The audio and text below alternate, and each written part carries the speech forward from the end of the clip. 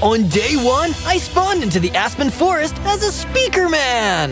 Ten hearts. Uh-oh, I better play this safe, or I'm gonna be in real trouble. But I didn't have time to form a strategy. Suddenly, the trees started setting fire around me. Some even exploded. What's happening here? Out of the fire stomped my worst nightmare, the many-legged, fully operational G-Man Spider Toilet, the leader of the Skibidi Toilet Army.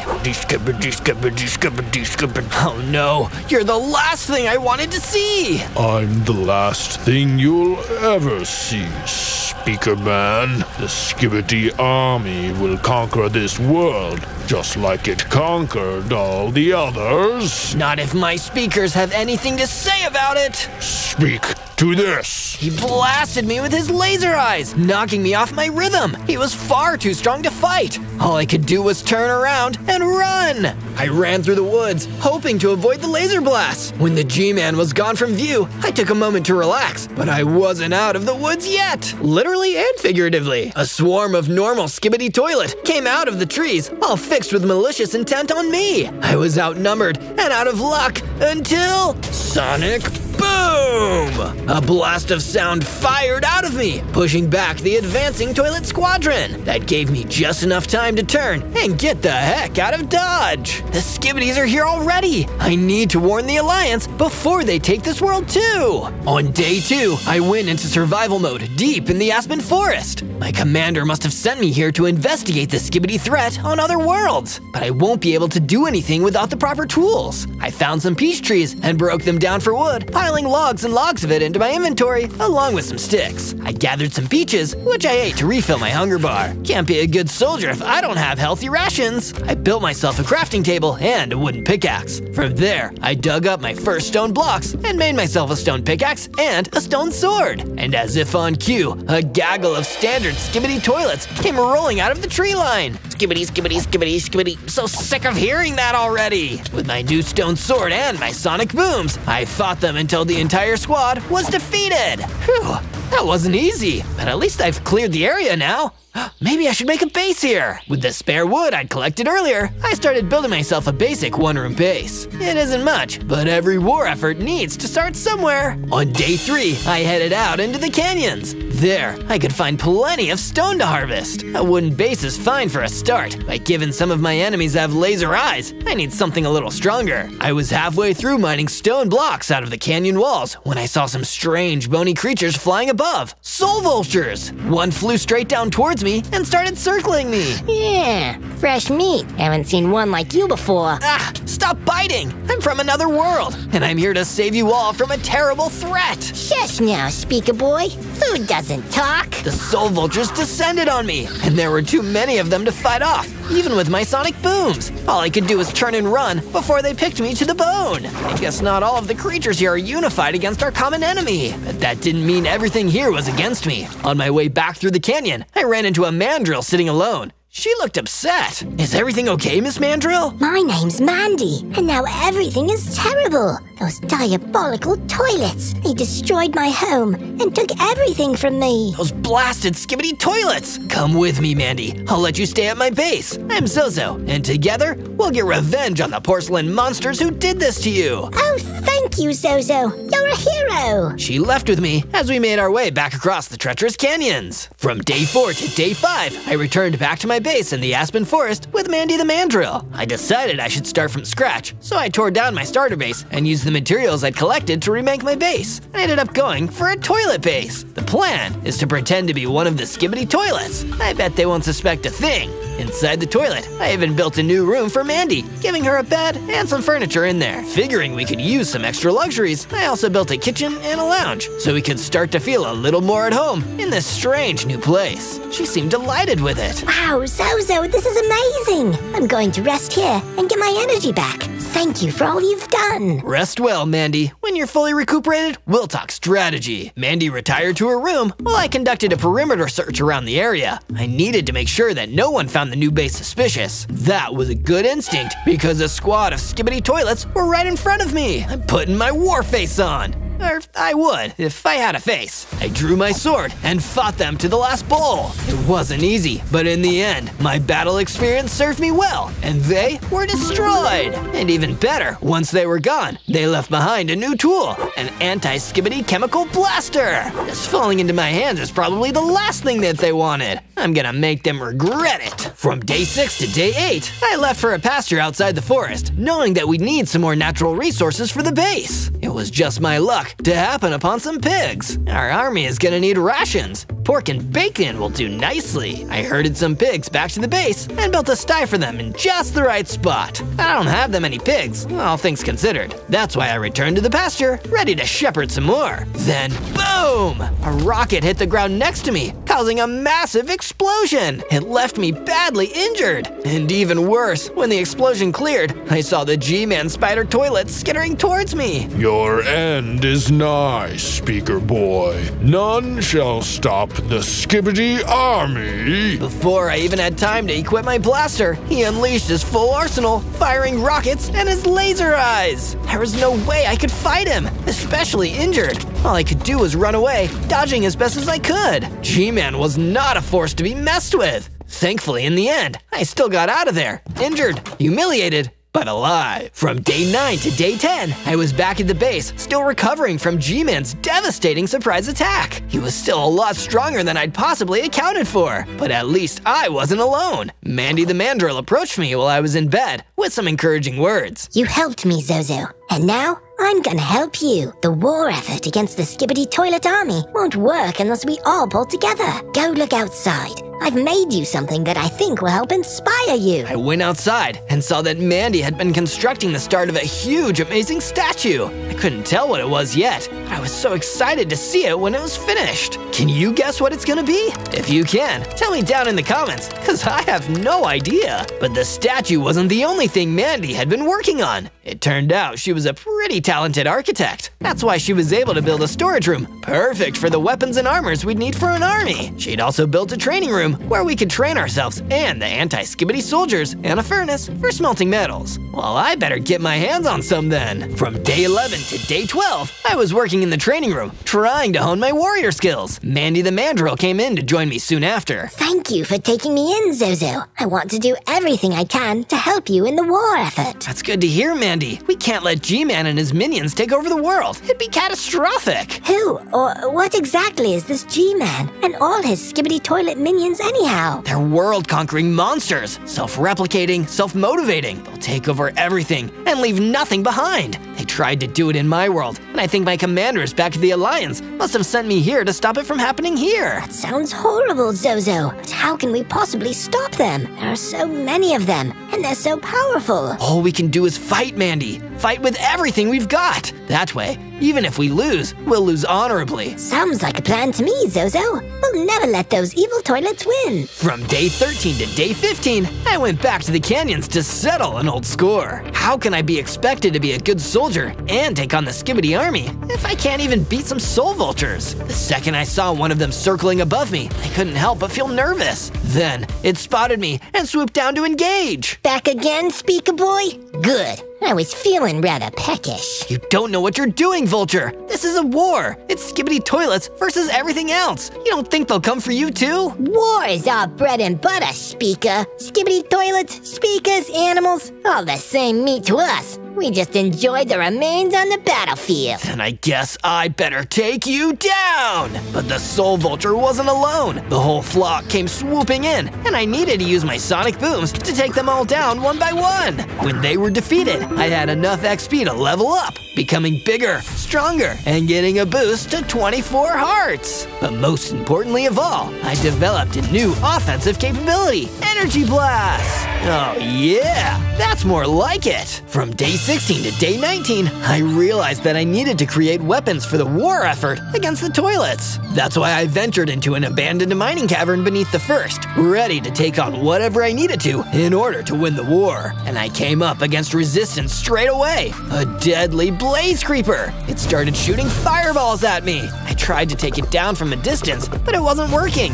I got closer, and he just exploded. That was dangerous. Hope I don't encounter any more of these. I should check if he dropped any useful loot. I approached the creeper hole, but instead of finding loot, the explosion uncovered a rich vein of iron ore. Exactly what I was here for. I collected up as much iron as I could, then returned to my base. I used the furnace to smelt it and used some spare sticks to make a couple of iron swords. I kept one sword for myself and put the other in my training room. With these, I can start to arm an anti-skibidi army of my own. With the spare iron, I made myself an iron pickaxe. This would be perfect if I ever got hands on some diamonds. From day 20 to day 22, I was woken up with a start by Mandy the Mandrill. She was hopping around in a blind panic. Zozo, Zozo, you need to wake up. Uh, what's happening, Mandy? You're confusing me. G-Man, he's right outside. Said something about wanting to stamp out the resistance personally. Oh no, then I'd better get out there and stop him. I grabbed my weapons and ran out to face G-Man. He wasted no time in firing one of his rockets, which barely missed me. You've gotten stronger, Speaker Boy, but not strong enough. You think you can stop the ravages of war? We will consume all. The Skibidi Rampage will never end. You're not a wall. You're barely even a speed bump. All this talk, G-Man. I think it's because you're afraid. But I'm not about talk, I'm about action. Let's fight, you clogged up toilet. The battle began. He blasted me with his laser eyes, but I was much stronger than I used to be. I volleyed sonic booms and energy blasted him, and when those had thrown him off balance, I pulled out my skibidi blaster and let him have it. Clearly, it was all a little too much for him. He broke away from the battle and used his rockets to destroy the blocks between us. You got lucky, Speaker Boy. Next time, my minions will deactivate you for good. He skittered off into the desert. Think I saw a crack in its ceramic armor. Maybe I can win this war after all. From day 23 to day 26, I worked tirelessly in order to build an upgraded weapon that might turn the tide of the war against the insidious skibidi toilets. I had to enhance my own individual abilities so that the next time I met G-Man, I could deal some real damage to him. Since fighting with music was my specialty as a speaker man, I chose to make a guitar weapon that would amplify the sonic frequencies of my speaker head. What an awesome idea for a weapon! I went into the training room to start trying it out on some blocks and found it was insanely effective. Now I'm loud and proud. Proud to be a devoted soldier fighting back against the forces of Skibidi, that is. And if you want to support the cause and help me in my other crazy adventures, remember to search ZOZO in order to find more of my videos. But for now, I'm going to get back to preparing for the battle so that we can win this war. From day 27 to day 31, I was baking some peach pies when Mandy came over to tell me she completed more of the statue and wanted to show me her progress. This way, Zozo. It's really cool. Okay, wait for me. I followed Mandy out to the area where the statue was being built and gazed in wonder at what it had already become. This would certainly inspire the troops to fight, but I couldn't help but feel as though something was missing. Hey Mandy, don't you think that part could use a bit of red concrete? You know, to really make it stand out? You're right. I totally see that. But it's pretty rare around these parts. You'll have to travel to the Crag Gardens for it. I've never been there before, but if it's for the statue, I'll do it. Be careful out there, Zozo. The Skibidi enemies are everywhere. You know me, I'm always careful, especially in enemy territory. Within a couple days' journey, I found myself in the Crag Gardens. Just as I had feared, the Skibidi toilets had already spread to this biome too. Skibidi, skibidi, skibidi, skibidi, skibidi, skibidi. A bunch of them came at me all at once, so I pulled out my guitar and started swinging away. The sonic waves were more than they could have, and were able to quickly defeat them all. When there were no more Skibidi toilets in the area, I found out what they were guarding. It's a treasure chest with a whole bunch of red concrete and some extra red nether bricks. My quest was not in vain. I gathered the material and began to make my way out of the Crag Gardens. From day 32 to day 35, I was attacked by another pair of Skibidi toilets while on my way out of the Crag Gardens. This is bad. There are more of them here than I thought. I struck them down with my guitar and scanned the area for more of the enemy. Thankfully, there weren't any more Skibidi toilets, but there was a swamp pig. There was me. You should get to safety. This whole biome is crawling with those creepy Skibidi monsters. I want to, but not without my best friend Otto the Ocelot. He was taken by a skibidi spider, and now he's trapped. Those Skibidi fiends! I've been fighting against them for as long as I remember. Maybe you can help me get Otto back. I'll be all over it, like flies on trash. From day 36 to day 39, I followed the swamp pig's directions to the lair of the skibidi spider that took his friend. It sounded dangerous, so I went along to spare the swamp pig from the troubles of the battlefield. When I got to the enemy base, I went into stealth mode and searched around for an entrance. I could hear the telltale annoying song of the skibidi toilets from inside the base, and that told me that I was getting close to where the skibidi spider was. Skibidi bop bop, yes, yes. Skibidi bop, neep, neep. Please stop! Someone get me out of this toilet! I can't deal with any more of this song! I looked and could see that Otto the Ocelot was inside a dungeon cell in the base, forced to listen to the song of the Skibidi Spider over and over. That's terrible. I need to do something, but I need to be smart about it. Maybe if I tune my guitar a bit, I'll be able to take them by surprise with a new sound. From day 40 to day 43, I snuck inside the mini base and hid myself from the ordinary Skibidi toilet soldiers. All I have to do is deal with the Skibidi spider who is guarding the ocelot, then I'll be able to extract him and escape. I quietly, carefully made my way to the center of the lair and over to the cell where Otto the ocelot was held captive. Let me go! You've held me captive for many days, and I can't help you with your war! I wouldn't skibidi say that. Your world seems skibidi short on humanoids, so if we want to make more skibidi toilets, we'll have to make skibidi doo with the animals. You will be the first ocelot to ever join the skibidis. No, no, no, please! I hate toilets! I try to avoid them! Skibidi, skibidi, skibidi. No! Before Otto could come to harm, I stormed in, isolating the spider. Let that ocelot go, Skibidi Spider. I'm the one you want. I know you. You're that speakerhead that G-Man told me about. I'm going to skibidi skin you. The Skibidi Spider charged forth, but I countered with my guitar. Thanks to the tuning I did the other day, my guitar now had greater knockback. Every time the Skibidi Spider got close, I bashed him farther away and dodged his approach. It took a while, but with enough whacks, the Skibidi Spider went down. Come on, Otto, we're busting out of here. Swamp Pig is waiting for you. Thank you, Speakerhead! Otto and I made our stealthy exit from the mini base and returned to the Swamp Pig. The two were happy as could be and promised to get as far from the Skibidi toilets as possible. From day 44 to day 49, I transported the building blocks that I was able to find in the Crag Gardens back to my base in the Aspen Forest. It's good to be back after spending so much time in enemy territory. Our defenses are looking a little thin though. I'll do something about that later. Once I was inside the base, I met up with Mandy, who was just feeding the pigs, and I turned the building blocks over to her. This is just what we need to continue work on the statue.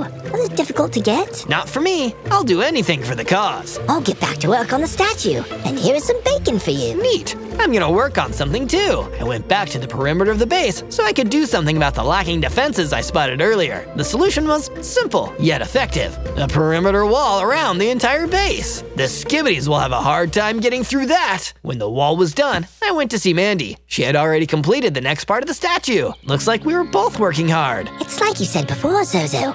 Anything for the cause. That's right, Mandy. We're gonna win this war no matter what. That moment, I felt really inspired. From day 50 to day 53, the G-Man brought a big army of skibidi toilets to attack the base. The new defenses were able to slow them down, but we were definitely outnumbered. Even so, there was no way I'd give up. It was time to fight. You're going down the drain, you toilets. Skibidi, skibidi, skibidi, skibidi, skibidi, skibidi. With the knockback of my guitar, I kept the skibidi toilets at a distance so that I could take them on individually. When they crowded, they were strong, but on their own, I could handle them. Divide and conquer. That reminded me that I was also fighting alone. Oh no. Mandy, I have to make sure she's okay. The G-Man spider toilet had Mandy in his terrible grasp. I almost couldn't watch. Speaker boy, you've survived longer than we expected. But the next toilets we send after you will be like nothing you've ever seen.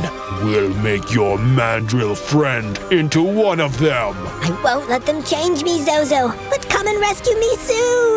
Mandy and the G-Man disappeared into the distance. I vowed to myself that I'd get my friend back. But first, I had to take out the rest of these skibidi toilets. With my trusty weapon, I cleared out the base and began to feel strong as a new form of power took hold within me. I grew into a big speakerhead, feared by Skibidi toilets everywhere. I had 40 hearts and a brand new Ice Blast attack that would freeze the Skibidi enemies solid. From day 54 to day 57, I restored the base to its former glory. The attack had been devastating, but even more devastating was the loss of Mandy, my friend, my fellow soldier, Mandy. If the G-Man made her into the first Mandrill Skibidi toilet, I might have to. No, I don't even want to think about that. I have to, have to, save her! I was full of concern for the animal mobs of the world because any of them might get turned by the G-Man and his many Skibidi Toilet minions. I decided to return to the Crag Garden and see if the Swamp Pig was still around that area. Sure enough, he was. I am. I'm around the area. You are! Not to be rude, but weren't you going to go somewhere safer? There aren't that many safe places left. You did a great job fighting the Skibidi toilets when you were here last time, so me and Otto thought we could hold out here. War has gotten really bad. There must be a base of operations where their skibidi toilets are coming from. If we beat them there, maybe we can stop their armies from spreading. I've heard that a lot of Skibidi toilets have been seen and heard coming from the Crimson Forest. If that's where the enemy is coming from, I have to proceed with caution. Still, this intel might help me save the world. Thanks, Swamp Pig. I was thanked. From day 58 to day 62, I mined for some diamonds because it was high time that I got myself some diamond gear. I need to be fully equipped when I face down the skibidi toilets on their own territory. It's diamond or nothing, man. I walked further through the cave and came to a dead end. I started digging and broke through into a massive cave. It was teeming with diamonds and one very big tarantula. Oh, spiders are freaky. I don't want to get near this thing, but my anti-skibidi ranged weapon won't work on it. So melee it is. I drew my guitar and squashed that spider with a few decisive smacks. I wonder if this is where those spider toilets get their legs. You know, I forget I asked. I gathered a bunch of the diamonds and crafted myself a diamond pickaxe and diamond sword. Success!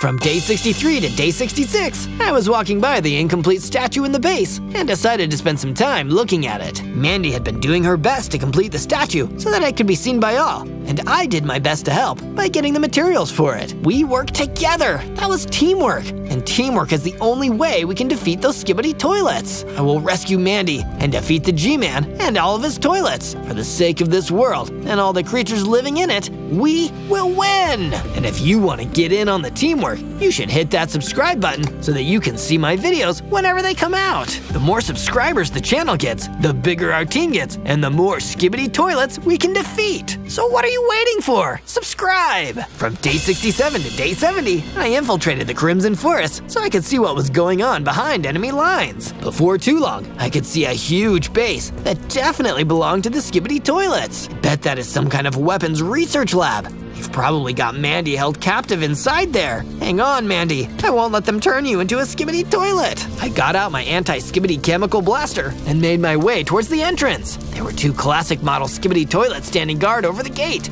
Both noticed me and began to run over. Skibidi, skibidi, skibidi, skibidi, skibidi, skibidi. Skibidi dot dot no no! I blasted the skibidi toilets with the chemicals, which flushed them away for good. This alerted some other toilets, but by then I was already inside the enemy base. Bring it! I'll flush every one of you! From day 71 to day 74, my devotion to the cause brought me deeper into the enemy's base. I had never been in a place with so many skibidi toilets, but at this point, I wouldn't let anything stop me. Just one soldier, but if I fight well enough, I can keep taking them on and moving ahead. While I was expecting trouble, I was surprised to see the soul vultures had also come to roost in the Skibidi toilet base. Those guys had never been nice or helpful, so the reunion wasn't a happy one. Let me guess, something about meat, like how you're gonna eat me? Skibidi, skibidi, skibidi. Huh, skibidi? Did they get you guys or what? Nah, just kidding. We soul vultures never change. We're all about scavenging and hunting, baby. It's living. Well, I don't know if I'm relieved or annoyed.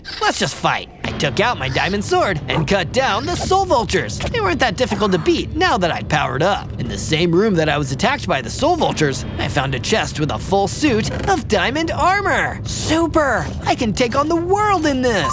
I could hear the skibidi song getting deeper and louder, which meant that I was getting close to the G-Man. This'll be the rematch of the century. From day 75 to day 78, I found the evil skibidi toilet laboratory where the G-Man had been keeping Mandy. They had her caged. Just like she promised, the skibidi toilets were unable to turn her into one of them. You made it, Zozo. I was waiting this whole time, and I knew you wouldn't let me down. I would never leave behind a fellow soldier, Mandy. We're in this together. Let me get you out of those restraints. I freed Mandy and broke a hole in the wall so she could escape. Run back to base. I'll be right behind you. Just then, G-Man's spider toilet burst into the room. Well, well, well. We meet again, Speaker Boy. You're not going to get away this time. You think I'm running? No way, G-Man. This is where I take you down and end your reign of skibidi terror. With those old tricks, I doubt it. G-Man was right about one thing. He had seen my Sonic Blast and Anti-Skibidi Blast before, but I still had something he hadn't seen yet, my Ice Blast. I continued to hit him with the regular stuff to lull him into a false sense of security. Then, with perfect timing, I Ice Blasted him right in his big creepy face. When he was stunned, I closed into melee range and swung my guitar with all my might, over and over. I shot several more Ice Blasts because they seemed to be working. Then I knocked G-Man back into a wall. His spider malfunctioned and started smoking. From the looks of it, the attack had beaten him, or so I thought. From day 79 to day 84, the G-Man spider rose from his fallen state and began to chant his skibidi song while he grew larger. Skibidi, skibidi, skibidi, skibidi, skibidi, skibidi. G-Man became a truly powerful monster, the strongest skibidi toilet ever. The peak of their horrible evolution. Uh-oh, I'm not equipped for this. What's the matter, Speaker Boy? Scared? Even your best weapons can't touch me now. I have gone to a level beyond. Soon, all things will be ruled by the cold porcelain of the skibidi toilets. I will never let that happen. Mark my words, I will find a way to counter your new form, just as our side has done for every skibidi toilet that came before. Ah, but for now, you must run. You must warn all the world that I am coming. Skibidi, skibidi, skibidi. I made a tactical retreat, as the G-Man predicted I would. This next battle would be a difficult one, but maybe, just maybe, it could win the war. From day 85 to day 89, I had made it back to my base, and had begun thinking of a new strategy to take down G-Man's Skibidi Spider Toilet's brand new Super Deluxe Skibidi mode. I was stumped because the previous fight forced me to use every weapon I had at my disposal. As I continued to puzzle, Mandy showed up and decided to help me come up with a new weapon. Any ideas, Mandy? Yes, you've tried sonic, energy, chemical, and ice. But what about fire? Mandy gave me a fire aspect enchantment to put on my diamond sword. Now I could burn up skibidi toilets with fiery sword slashes. But will it be enough? Don't worry about that right now. I want you to see the statue. It's completed, and it looks great. The statue was the Titan Speaker Man, an inspiration for all speaker heads everywhere. Looking upon his imposing form reminded me that I could keep fighting and win this war. But how? We're so close.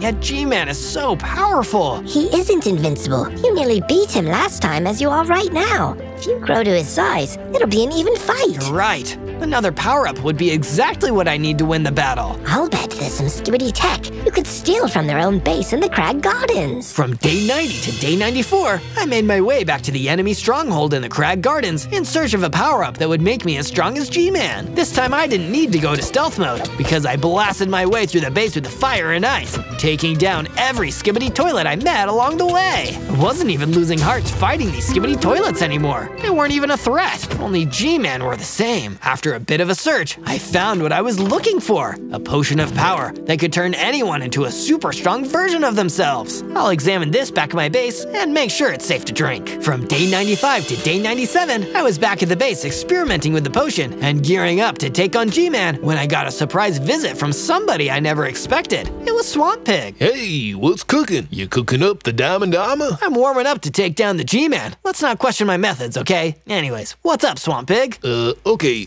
I just came by to say that the world is a lot safer now that you defeated most of those skibidi toilets. If you can take down the G-Man boss, then this war will be over at last. I want to help with that, so I'm giving you this. Swamp Pig handed over a full set of netherite armor, the best defense I could have for the final battle. Dang, Swamp Pig, where did you find this? In the swamp, obviously. That explains everything. Anyway, thanks. I equipped the armor and felt cooler already. On day 98, the war was looming, and I was starting to get a little nervous about the fight. Then, I remembered what I was fighting for. A world safe from Skibidi toilets. Think that all of us would like to see that. What else would you like to see? Tell me who you want me to be next in the comments below. Don't forget to go search for more Zozo videos as well. There are so many to watch, and all of them have their own amazing stories and fun. That's Z-O-Z-O. Go check it out. On day 99, I launched my attack on the Crimson Forest, finding it mostly deserted. I walked past the reception, the corridors, a terrarium where I found a vent shaft through, which I crawled deep into the base. It's incredible. I can't hear any silly skibidi songs. Maybe they packed up and left. I kept crawling until the shaft gave way to my weight, and I dropped and landed right in front of G-Man. You wish, Speaker Boy. Skibidi will never die as long as there is someone to carry on the chorus. It was G-Man. It was me. Hey, that's Swamp Pig's joke. You can't steal it. Actually, I can. Everything in the world belongs to Skibidi now. I am too powerful to be Skibidi Stop Doop Doop. Yes, yes. Your reckoning is upon you, Speaker Boy. You know something, G Man? They say everybody wants to rule the world. I don't know if that's true. I just know that you won't get to. I downed the potion of power, immediately growing to the same size as G-Man with 100 hearts. He fired his laser at me, but I could fire one too now, so I counter lasered him. I'm a firing my laser! He was not expecting that, so I mixed it up with Ice Blast, Chemical Blast, and Sonic Blast. We circled around each other, closing in as we launched projectiles. I drew my fire enchanted diamond sword and swatted him with it. The fire seemed to hurt, but I wouldn't let him adapt, so I kept changing my attack. Ice Blast, Fire Slash, Laser Blast! The fight was tense and close, but with all my different weapons and my dedication to rid the world of skibidi toilets, I managed to flush G-Man for good! Ah, Skibidi, Skibidi, no! On day 100, I basked in the glow of my victory, no, of our victory, as I returned to base and celebrated with Mandy and Swamp Pig. Hooray! Zozo is our hero. The Skibidi toilets are gone for good. This was an achievement that would go down in the history books because together, with all of our crafts and innovations, we did something that nobody else had done. Defeat the G-Man Skibidi toilet and save the world from Skibidi domination.